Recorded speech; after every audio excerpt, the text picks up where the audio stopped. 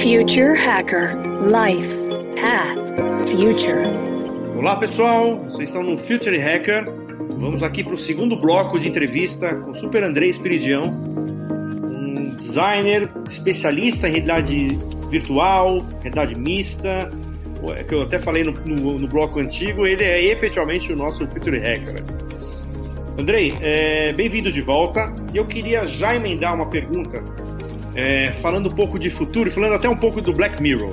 Tem um episódio né, do Black Mirror que é de VR, uma experiência de VR, que dois amigos assumem, assumem personagens aí no mundo, tipo Matrix, Matrix, né?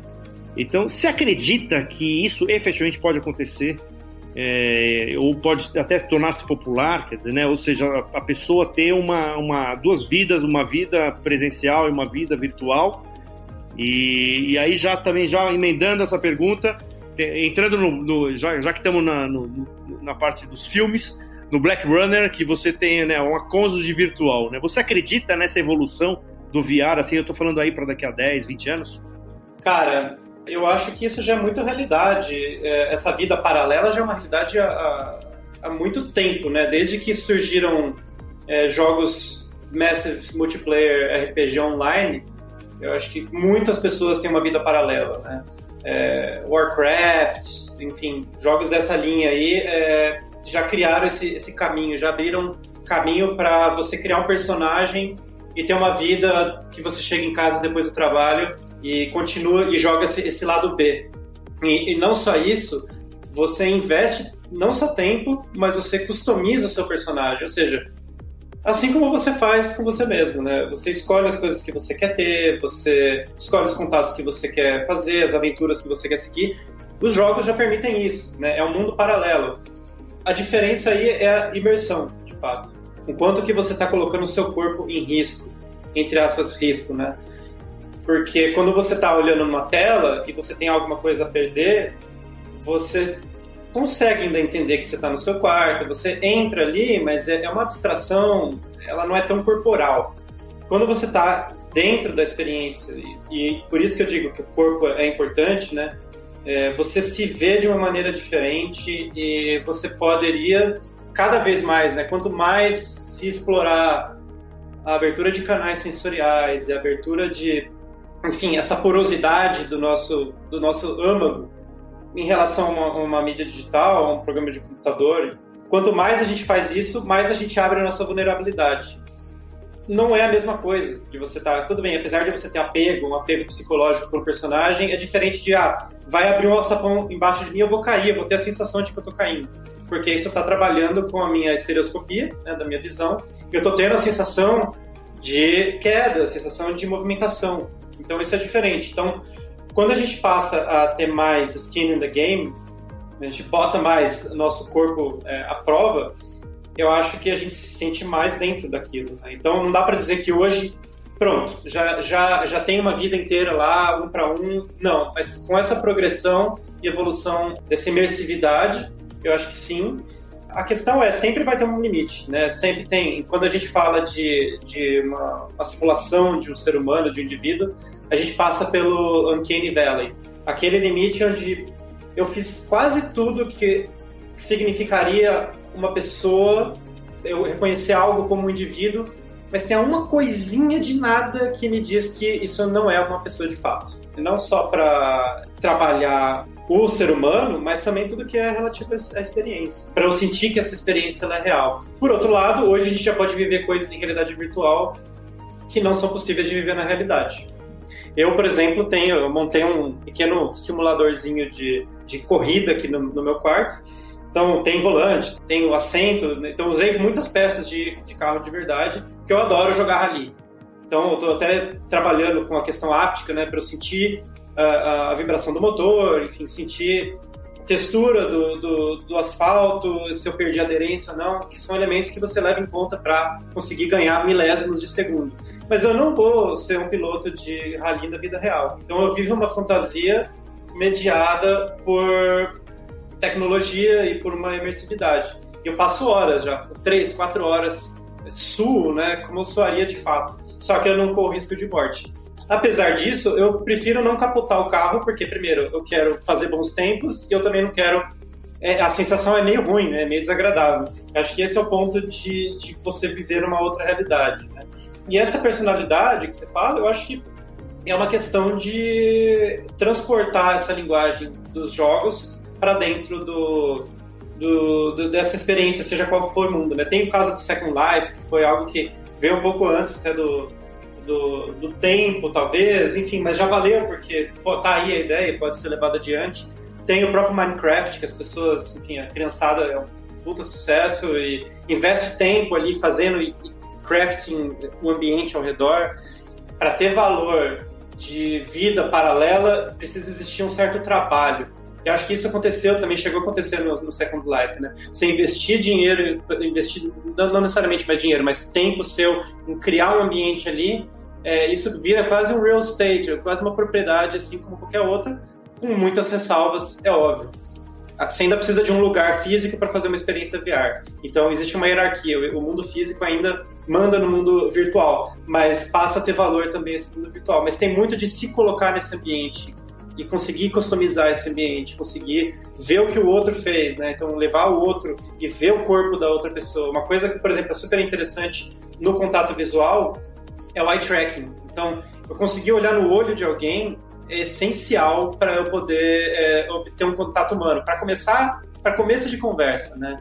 Você conseguir acenar alguns gestos é interessante, mas o olho no olho é algo que diz muito. E tem muitos dispositivos, muitos óculos já que estão vindo com, com eye tracking, né? Que ainda é um pouco mais experimentais, ainda não está no, no, grande, no, no mainstream, mas é super, é super interessante, né? Quem, quem é que parou para pensar que seria tão relevante o eye tracking para uma relação social. Hoje se usa muito para ferir performance de gôndola de, de, de supermercado, né, de embalagens, comportamento, pesquisas.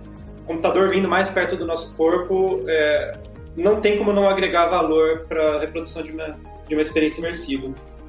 Perfeito. Tem até uma, eu acho que assim, um, eu não sei, eu também não tenho, eu, eu já vi isso aí já um tempo atrás, acho que um ano atrás, que é inclusive o VR sendo usado para tetraplégicos, né, para paraplégicos, quer dizer, para assim até para o ponto de vista de curar depressão, assim, né, deles viverem um outro um outro mundo ali e ao mesmo tempo isso começa, né, talvez para esse tipo de utilização também, né? Você, você conhece, sabe se isso está sendo praticado, isso está sendo feito? É, é, realmente é muito incrível. Você existe inclusive um paper muito legal que fala sobre como, através de uma interface de realidade virtual, você consegue controlar um rabo, porque existe uma estrutura vestigial nossa que a gente tem rabo, né, pelos nossos ancestrais, e a gente tem um, ainda uma área adormecente no cérebro para controlar isso. E tendo VR, a gente conseguiria controlar. Enfim, é um, é um paper bem interessante, né? Foi feito esse estudo. Isso prova que a gente está conversando muitas vezes com uma ancestralidade nossa, uma coisa nossa que está dormente e a gente nem conhece. Não, bem legal, cara. Bem, vamos dar uma, uma puladinha do, do VR e vamos entrar um pouco do, do 5G. Todo mundo sabe que o 5G é uma, uma grande revolução aí. Eu queria saber, assim, qual é, na sua opinião, o impacto do 5G aliado à internet das coisas, né? Na vida das pessoas. A principal coisa que se fala em relação, se falou, vem se falando em arquiteturas de, de IoT há muito tempo, já é o pressupor unidade da coisa que a gente está conectando, né? Se a gente está falando de internet das coisas, tá bom. Mas quanto custa colocar essa coisa na internet? E eu acho que o primeiro impacto é esse, poder popularizar. Então hoje a gente precisa depender de uma, de uma série de dispositivos numa arquitetura de, de rede para poder conectar um dispositivo qualquer de casa na, na, na internet.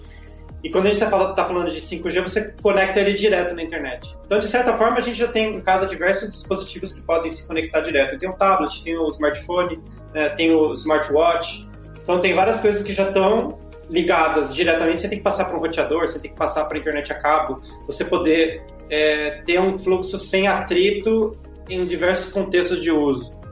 Hoje mesmo, por exemplo, existem, é, existem micro, microcontroladores, né, micro, até microprocessadores que têm o, o Wi-Fi e o Bluetooth embutido, o USB, por exemplo, é, da Expressif, que tem isso num chip super barato e tem muitas soluções é, que já estão disponíveis que passam por essa arquitetura deles. Então, por pouquíssimos dólares você tem é, um, um, dispositivo dual-core com Bluetooth e Wi-Fi. A ideia aqui é, se você precisaria ter um Bluetooth e um Wi-Fi como etapa de conexão na internet, agora, daqui a pouco, em breve, você vai ter um desse que já conecta direto. Né? É, e aí o impacto é você poder, enfim, poder pensar em algumas soluções sem bater com a cara na parede, né? Então essa é mais uma das coisas. É, também ao longo do tempo outras soluções, que é a LoRa, né? Enfim, você tem antenas que conversam com dispositivos, mas assim, ainda assim é uma antena que é cara e precisa ter infraestrutura. Conversando diretamente com a rede é algo que torna-se bem diferente. Inclusive tem um projeto que eu, muito tempo atrás lá na, na, Flag a gente fez, bem legal de caixas conectadas. Então, a gente criou umas caixas é, para uma ação do Manual do Mundo, que elas conversavam diretamente com a internet e abriam quando tinha um vídeo novo no, no canal. E na época a gente teve que criar estruturas de backup, porque a cobertura não era nem 4G ainda na época, né? Acho que era 2000, foi em 2014, não tinha um 4G super abrangente. E a cobertura era muito falha, né? Eventualmente não, não conseguia acessar dentro da agência que onde foram feitas essas, essas ações. Isso, isso é bem o que, acho que sintetiza bem o ponto, né? A gente tinha que ficar criando estruturas de backup, é, de sincronismo, de pré-sincronismo para poder abrir, ao invés de a gente esperar que a gente pode contar com um sistema que vai ser real-time e vai simplesmente funcionar. E o tempo é muito importante quando a gente fala de informação. Se a gente está se a gente tem dispositivos que lidam com informação e geram informação e estão conectados a essa internet, a gente precisa conseguir contar com esse serviço e a validade da informação é muito importante, né? Eu, eu, sei lá, um dispositivo que detecte incêndio não pode não funcionar de vez em quando. Quanto que a gente pode confiar, a confiabilidade é muito importante. Perfeito. O Andrei, é, quando entrando ainda no, no campo da, da, internet das coisas aí, isso aí, na minha opinião, quando isso estiver efetivamente né, funcionando assim do ponto de vista de larga escala, é, é uma quantidade de dados violenta, né? Quer dizer, eu imagino que existe, existe nuvem para armazenar tudo isso, e o segundo ponto é a parte de segurança, né? É, o mercado está se preparando do ponto de vista de segurança para uma explosão de dados que vai acontecer com a internet das coisas? Se você parar para pensar quanto espaço físico gasta um centro de processamento, tem algo, enfim, dá para contar, dá para contar em, algum, em pouco tempo todos os, os, os, CPDs ao redor do mundo, né, dos principais serviços web. E eles estão montados é, em cima de, de escalabilidade. Né? Hoje máquina virtual para lá e para cá. Então, criou-se uma estrutura é, generativa e recursiva de é, escala, escalabilidade para serviço. Então, eu acho que isso não tende a ser um, um, um grande problema, né?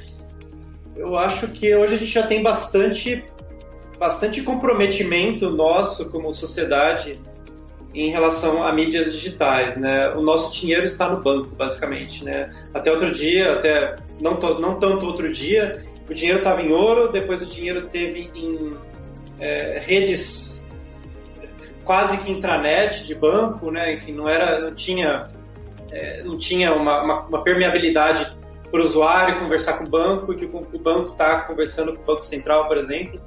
E hoje a gente tem, enfim, acho que o que mais que a gente teme, sabe? É, eu não sinto nenhum medo disso, assim. Acho que acho que já está lidando muito bem com isso. A questão é quanto que a gente pode deixar para trás arquiteturas e tecnologias mais de legado, que aos poucos acho que a sociedade vai abandonando. Então, o próprio lastro de ouro foi um legado que ficou ficou para trás aí, enfim, ainda é um asset aí de, de investimento, mas virou, virou o jogo, né, do que, que é o valor.